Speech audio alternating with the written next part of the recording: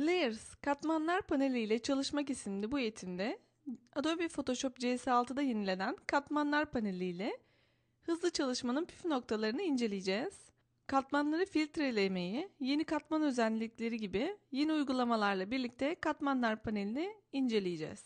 Photoshop programını açtıktan sonra fail üst menüsünden Browse in Bridge komut yoluyla istediğiniz bir fotoğrafa çift tıklayarak Photoshop programında açılmasını sağlayın. Katmanlarla çalışacağımız için Windows üst menüsünden Layers yani katmanlar komut yolunu çalıştırın. Bakın kısa yolu F7 olarak yanında yazıyor. Klavyeden F7'ye basarak da katmanlar panelini açıp kapatabilirsiniz. Katmanlar paneline baktığımızda şu anda açık olan görselin küçük bir ön görüntüsünü görüyorsunuz. Yanında da background yazısı. Son olarak da sağ tarafında bir kilit görseli bulunmakta. Bu background kilidinin yani arka plan katmanının kilitli olduğunu gösteriyor. Katmanın boşluğuna çift tıkladığınızda kilidi açarsınız. Name kısmına bir isim verelim. Bu katman ismi olacak. Altında color bölümünden bir renk atayabilirsiniz bu katmana. Mod bölümünden bir harmanlama yani karıştırma efektleri verebilir. Opasiteden de şeffaflığını düzenleyebilirsiniz. Bu bölümdeki komutları şu anda değiştirmenize gerek yok. Daha sonra da katmanlar yani layers panelinden değiştirebiliriz. OK dediğimizde katmana uygulandığını göreceksiniz yaptığımız işlemlerin. Katmanın adı kedi olarak belirlenmiş ve sol tarafındaki göz ikonunun bulunduğu bölüm az önce verdiğim renk olan kırmızıya dönmüş. Göz ikonu üzerine tıkladığınızda katmanın ön görüntüsünü kapatır. Göz ikonu açıkken katman açık olarak yani fotoğrafınızı açık olarak görüntüleyebilirsiniz. Katmanı çoğaltma. Klavyeden katman seçiliyken Ctrl J komut yoluna bastığınızda o katmanın bir kopyasını alırsınız. Şu anda gözleri açıp kapattığımda ikisini de kapatalım. İkisi de görünmez. İkisi de aynı katman olduğu için bir kopyasını alıp üzerinde çalışabilirsiniz. Katmanı silmek için klavyeden delete tuşuna veya tutup çöp kutusuna bırakabilirsiniz. Şimdi yeni bir katman açalım ve bu katmanı boyayarak farklı bir görünüm elde edelim. Katmanlar panelinin altından Create a New Layer düğmesine basarak ardından boya kovası aracını alalım. İstediğimiz bir rengi elde etmek için araçlar paneli altındaki renk kutusuna bir kez tıklayalım ve buradan seçerek sol tarafta da rengin valör değerini yani ton değerini ayarlayalım. Rengi belirledikten sonra New bölümünde rengi görüntüleyebilirsiniz. OK dediğimizde bakın renk değişti. Boya kovası aracılığıyla yeni açtığımız bu katmana üzerine bir kez tıklayalım. Boyanan katman kedinin üstünde olduğu için kediyi göremiyoruz. Ancak katmanı tutup kedi layer'ının altına attığımızda katman alta geçer ve kedi katmanı üstte olduğu için bu sefer de mavi olan katmanı göremeyiz. Dilerseniz bu yeni açtığımız ve boyadığımız katmana bir isim verelim. Layer 1 yazan bölüm üzerine çift tıklayarak mavi renk diyorum. Burada Türkçe karakter kullanabilirsiniz. Bir problem olmaz. Şimdi kedi katmanına tıklayıp kediyi biraz düzenleyelim.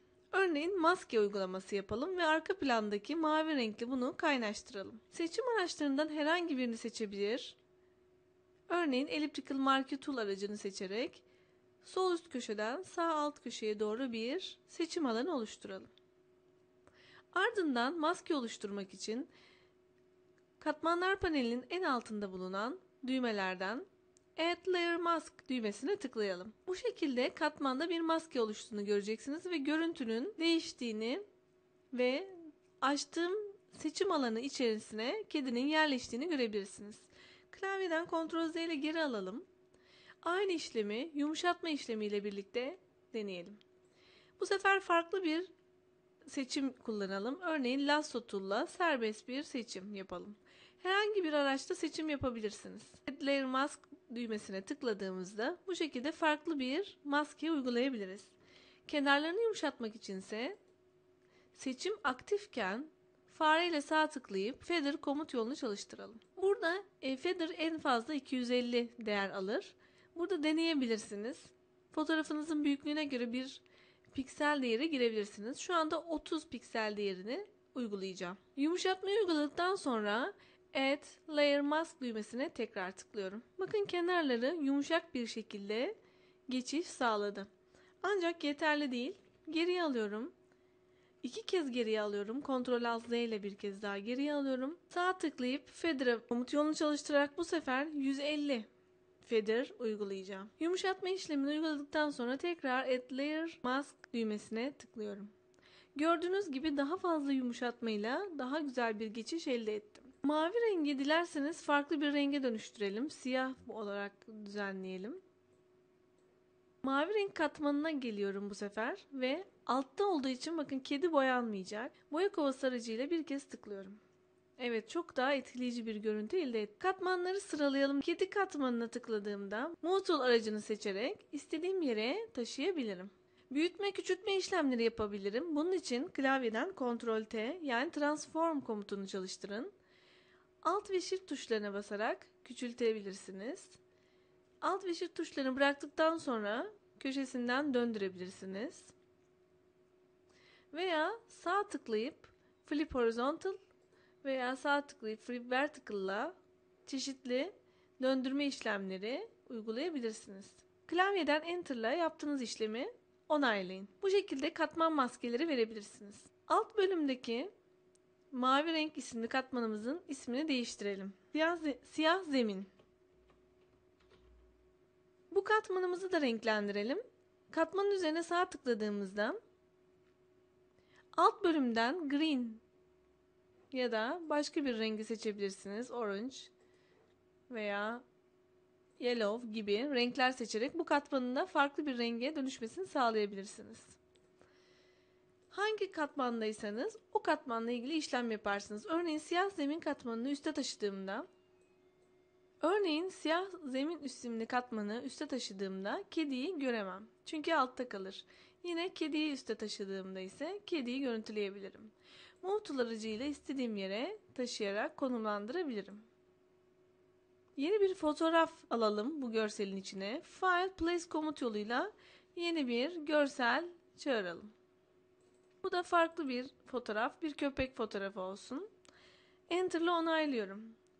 File Place komut yoluyla çağırdığım bu fotoğraf bakın köşesinde küçük bir ikon var. Bu Smart Object anlamına gelir. Smart objeler büyütme ve küçültme yapıldığında hiçbir zaman bozulmazlar. Ancak buradaki piksellere işlem yapan araçlar bakın şöyle bir ikon belirecektir. Kesinlikle çalışmaz. Bu piksele dayalı Adjustments panelinin kapalı olduğunu görürsünüz. Bu Smart Object yüzünden olur. Eğer büyütme ve küçültme yapmayacaksanız Smart Obje'yi açmanız yani Rasterize komutunu çalıştırmanız gerekir. Smart Obje olan katmana sağ tıklayıp Rasterize Layer komutunu çalıştıralım. Smart Obje artık normal bir katmana dönüştü. Buna da bir isim verelim. Dilerseniz yine sağ tıklayıp bir renk verebilirsiniz. Bu şekilde 3 farklı katmanımız oldu. Bu katmana da bir maske uygulayalım. Örneğin burada da köpek katmanındayken yeşil alanları Quick Selection Tool aracıyla hızlıca seçelim. Köpeğin bazı bölümleri de seçildi. Bunları alt tuşuyla çıkartabilirim.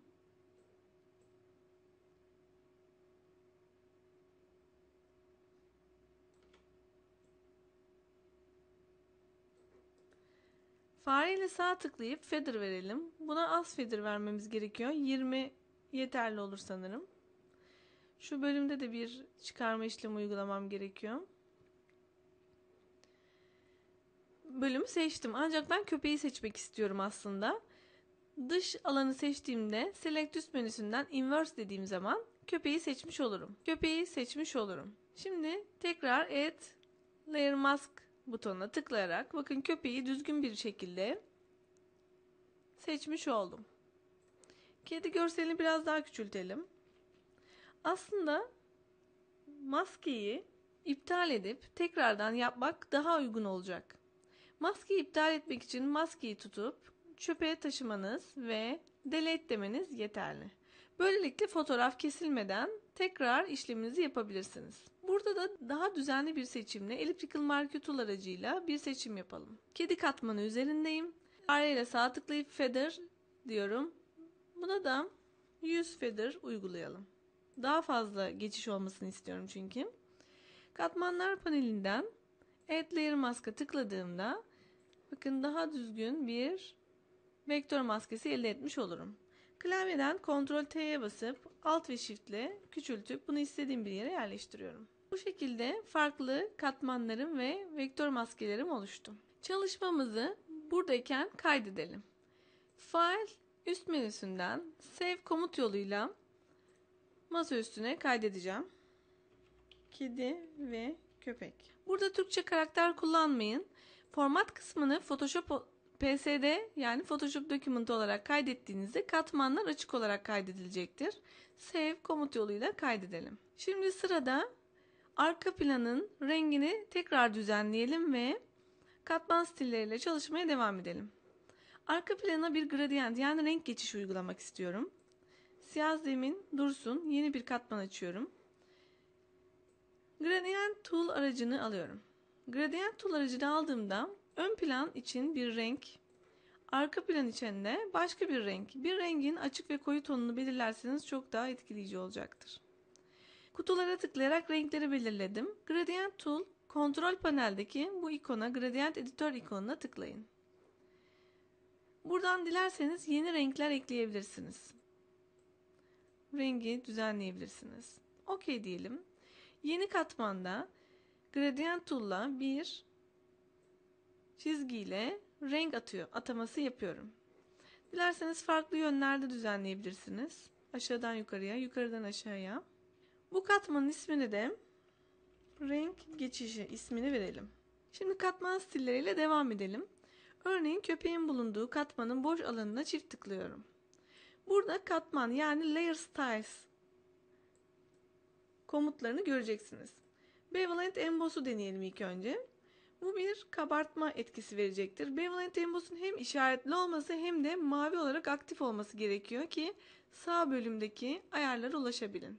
Burada Style bölümünden kabartma, içe doğru kabartma, dışa doğru kabartma gibi seçenekler mevcut. Teknikte de smooth seçili olsun daha yumuşak. Dip bölümünde derinliği ayarlayan bir sürgü bulunuyor. Up veya down yani aşağıdan veya yukarıdan ışığı alabilirsiniz. Size bölümünde de boyutunu düzenleyebilirsiniz. Soften'da da yumuşak bir geçiş olmasını sağlayabilirsiniz. Burada sanki 3 boyutluymuş gibi bir etki verilebilir. Kontür verilebilir dışından. Örneğin bir kontür olabilir. Texture, doku atanabilir dışındaki kabartmaya. Bunun gibi seçenekler yapılabilir. İşaretleri kaldırdığınızda efekt uygulanmayacaktır. Nesnenin dışına bir kontür verebilirsiniz stroke'la. Burada şeffaf bir kontür olabilir ya da rengini değiştirebilirsiniz. Renkli bir kontür ya da beyaz bir geçiş sağlayabilirsiniz. Opacity ile şeffaflığını position'da dışarıya, içeriye doğru veya ortadan bir kontür verilebilir. Size bölümünden de bu kontürün büyüklüğünü veya küçüklüğünü ayarlayabilirsiniz.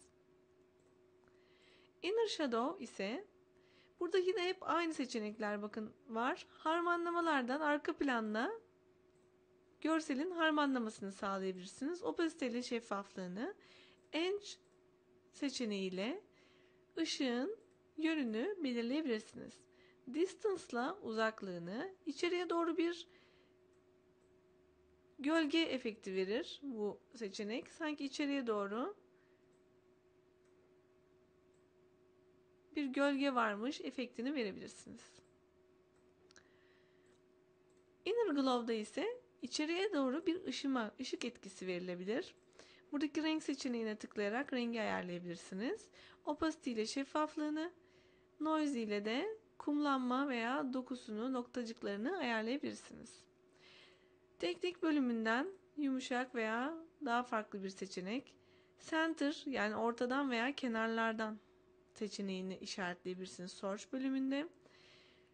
Buradaki bölümlerde de büyüklüğünü ve küçüklüğünü düzenleyebilirsiniz aracın. Satin seçeneğinde ise daha farklı seçenekler mevcut. Böyle farklı bir gölge ya veya ışıma gibi etkiler verilebilir. Yine aynı harmanlamalar ya da farklı seçenekler burada mevcut. Color Overlay seçeneğini seçelim. Bir renk verebilirsiniz tamamına. Şeffaflıkla düzenleyebilirsiniz. Örneğin daha bir koyu bir renkten oluşmasını istiyorsanız mavinin tonları. Gradient Overlay'de de bir gradient verilebilir üzerine. Renk geçişi. Yine aşağıdan yukarıya doğru örneğin Angel ya da yukarıdan aşağıya arkadaki renkle bir geçişle bir e, etkisinin olmasını istiyorsanız bu şekilde skalayı da düzenleyip arka planla ön plan arasını sanki aşağıdan bir mavi bir ışıma geliyormuş gibi düzenleyebilirsiniz. Pattern Overlay'de ise doku atayabilirsiniz üzerine. Bu herhangi bir nesne olabilir. Dokular düzenlenebilir üzerindeki. Scale bölümünden. Outer Glow seçeneğinde ise dışarıya doğru bir ışık, bir renk verelim. Size bölümünü arttırdığımızda bakın spread'i düşük, size'ı arttırdığımızda çok daha güzel bir etki olacaktır. Bu etkinin kalmasını istiyorum ben. Ayrıca Drop Shadow'la da gölge verelim kenarına.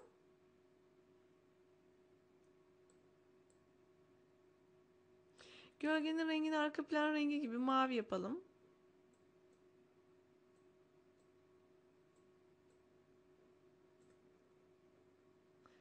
Outer Glow'u birazcık daha küçültmeyi planlıyorum.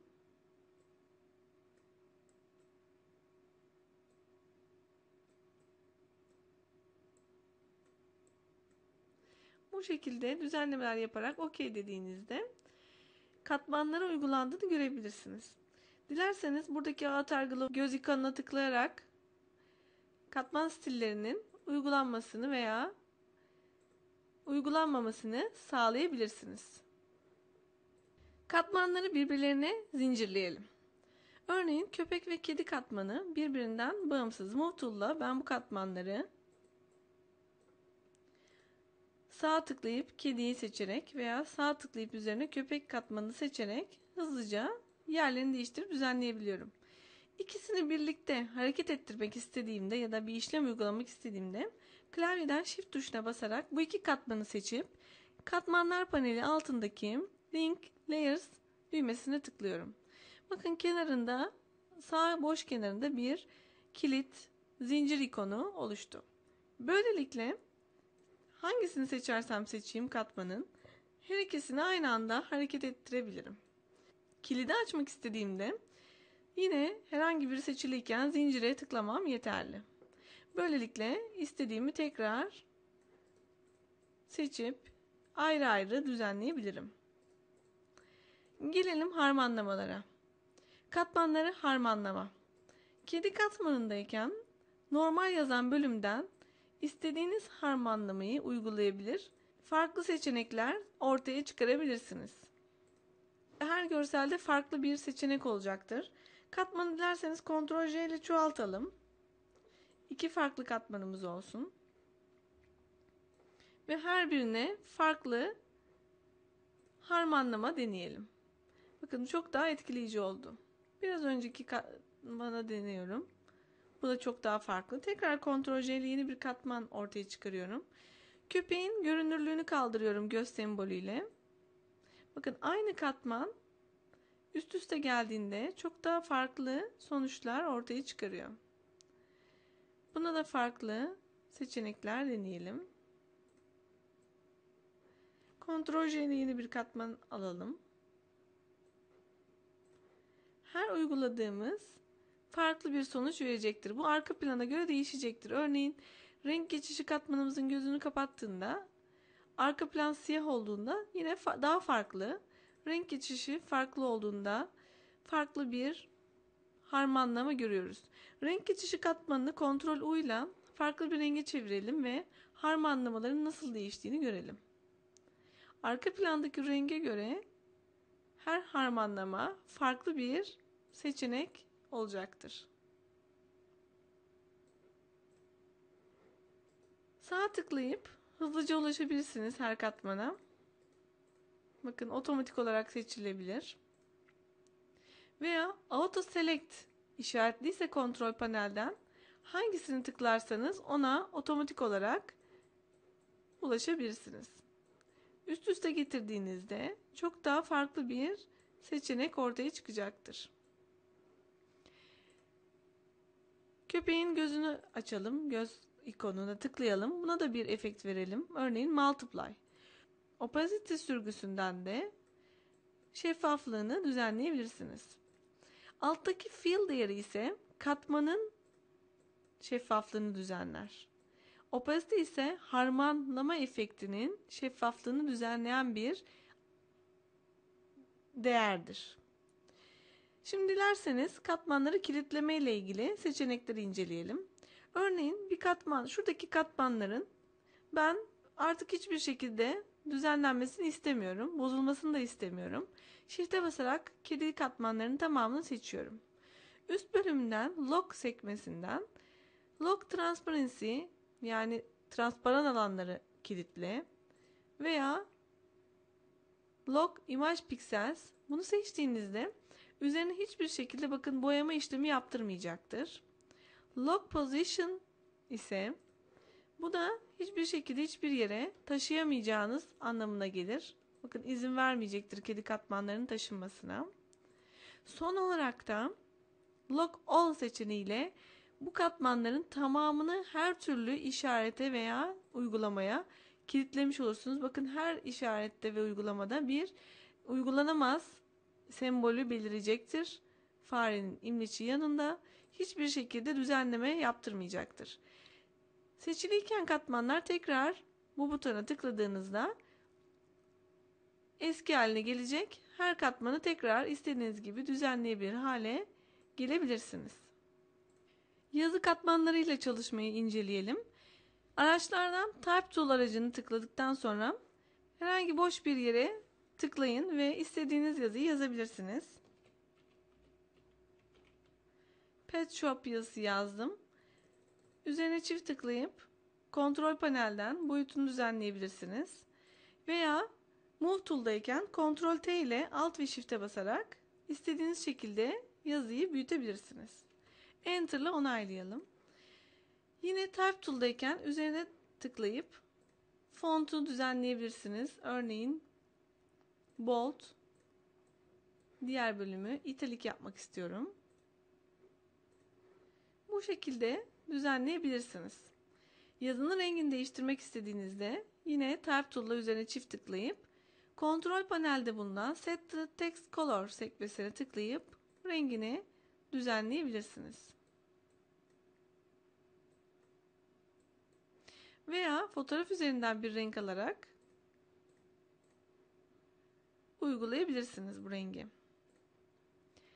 Yazıya farklı, metne farklı uygulamalar yapılabilir. Bunlardan bir tanesi Create Warp Text. Buradan çeşitli seçenekleri deneyebilirsiniz. Seçtiğiniz seçeneği düzenleyebilirsiniz. Az önce uyguladığımız katman stillerini deneyelim. Katmanın üzerine çift tıkladığımızda örneğin gölge vermek istiyorum. Drop Shadow'a tıklayıp Distance ve Split bölümlerini düzenleyerek buradan gölge verilebilir. Gölgenin rengi düzenlenilebilir.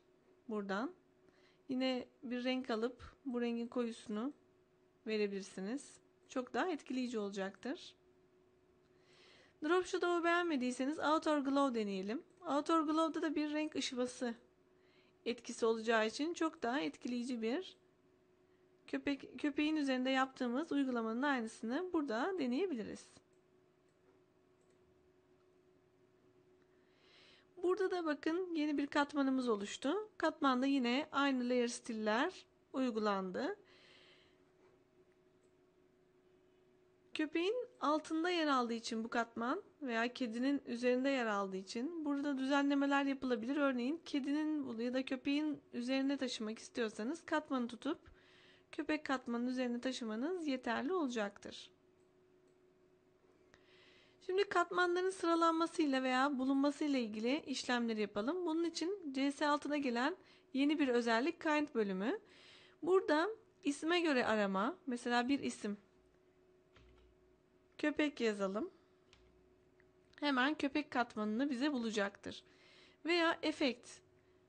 Hangi efekt inner glow uygulanmış veya drop shadow uygulanmış. Az önce köpek katmanında köpek layer'ında uyguladığımız bir efekt veya inner glow uyguladığımız yok. Stroke uyguladığımız veya bevel and emboss uyguladığımız bir katman olsaydı burada bakın kırmızı yanıyor. Bir katman bulunamadı. Mod bölümünde bir harmanlama mesela luminosity verdiğimiz bir katman veya screen lighten az önce normal kısmından yazan katman harmanlama efektleri verdiğimiz bir katmanı. Attribute seçeneğinde ise kilitli veya linkli işte boşta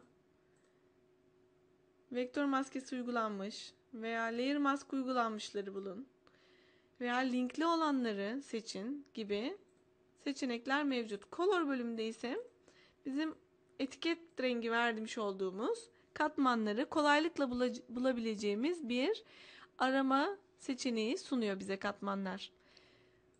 Katmanlarla çalışmak bu şekilde. Katmanlarla çalışma bu şekilde. Dilerseniz bunu kayda çevirip katmanların tamamını görebilirsiniz. Son olarak klasörlemeyi anlatacağım. Create a New Group düğmesine tıklayarak bir klasör açabilirsiniz.